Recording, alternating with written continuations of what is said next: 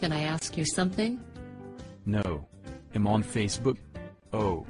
I got a friend request from Albert Einstein. I have his grandmother on Facebook. What do you want? There's a moose in my office. Named Jimmy. I'm really glad we are not related at all.